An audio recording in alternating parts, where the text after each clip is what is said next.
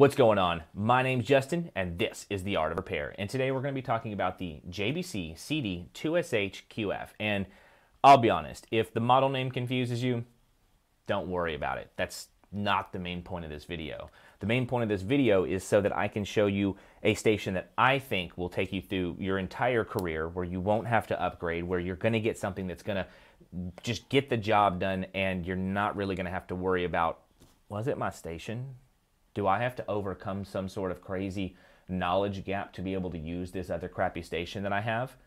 Nope. After this video, you're going to understand. So with that, let's take a look-see here. Let's move down to the old camera on the side here, and let's take a look at this bad boy right here. So um, I'm just going to tell you about the things that I think are kind of pros and cons of these types of stations. Um, I would actually consider this a high-tier station where a low and mid tier would probably be a low tier station would be like a 900 series setup where you have to unscrew and screw in your your your air gapped uh, heating element area. It's not the heating element, but the actual like uh, iron tip itself has to be sleeved over the the the the heating element, and that causes an air gap, which causes insulation.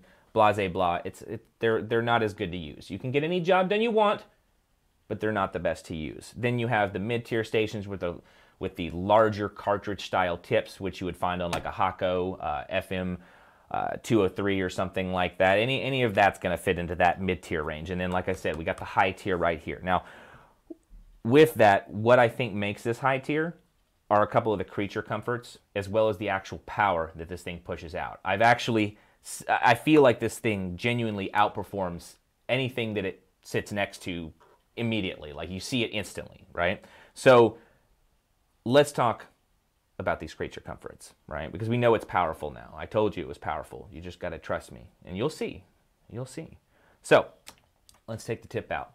We do have a smaller tip to grip range on here. I don't know if we can see that that well on here. There we go. Um, and tip to grip would actually be the distance from here to your workpiece being right here.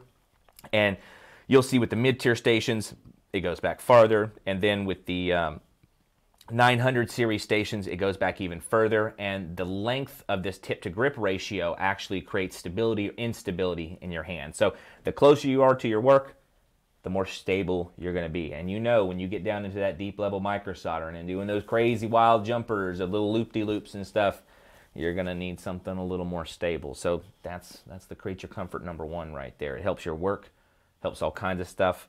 Um, I love that, right? Now, the next thing here, in my opinion, that I love is the, the, the fact that it has a built-in brass sponge here, so you don't even have to play with that. It comes right built in. And the thing about brass sponges is that when they're on your desk, if they're not locked into something, even if they're in like a like a holster themselves, you, you kind of got to lock them down, especially if you're trying to clean it real good or something like that. And I know maybe I'm a little harsh on my, my cleaning. I just like to really get that oxidation off. But having it built in, I really like that. Now, the third and final thing here that I really would say is a complete creature comfort that I enjoy that makes things really just nice for me is the one-handed operation of the actual handle itself. Um, with some of these other brands, it's a two-handed, you know, full attention situation with like the 900 series stuff.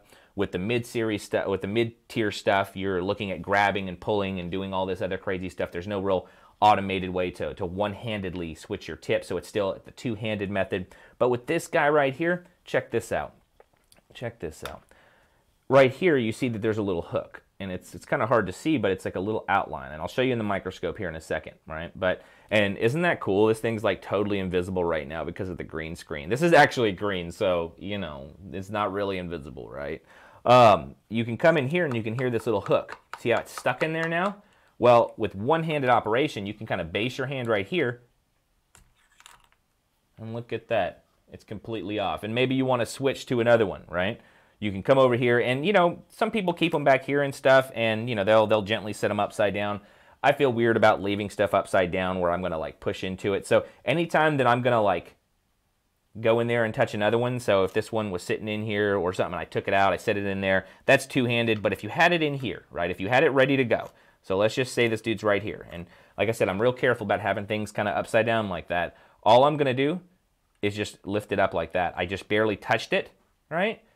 I lifted it up. You see it's just kind of way out there. We got the super long, you know, uh, tip to grip ratio, right?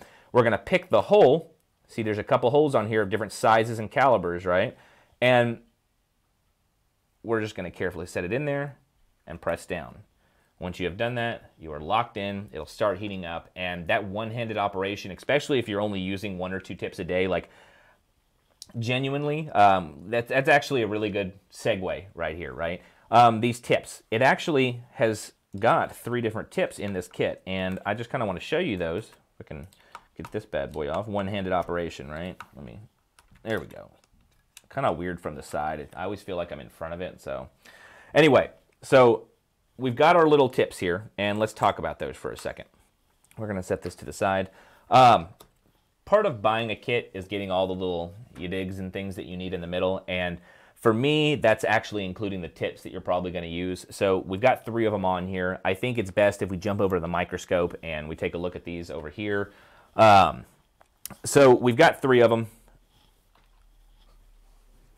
You can't really see them that well here, but we've got a point, a very fine micro point. And let me just let me just tell you, the micro point isn't used for a lot of work. You use it very rarely. I I really only include it because at some point maybe you'll use it for something. And if I don't include it you're going to go buy it anyway just because you saw somebody else use it. So I'm just going to include that in there right? Um, the next one we have here is a J tip and then we also have a knife point tip. So let's jump down here. Let's take a look see let's see what we got going on. And let's see if this is going to be what works for you right oh hey man I love these boards when I pick them up these are just from class um, and you know, since everybody's getting to train on all these boards, sometimes you find some really funny stuff in here. Um, but let's start with the little point, right? You can see that this one goes down and really just hits really anything you want. I really only recommend these for like fine, fine jumper work. I really wouldn't use it too much on any, any kind of like regular components or anything. I would actually go and use the J-tip if I had something that was just really kind of weird and awkward. Like maybe I had to like, you know, get under, you see I get under the side here. Hopefully that's in focus. Let's, there we go, a little bit better.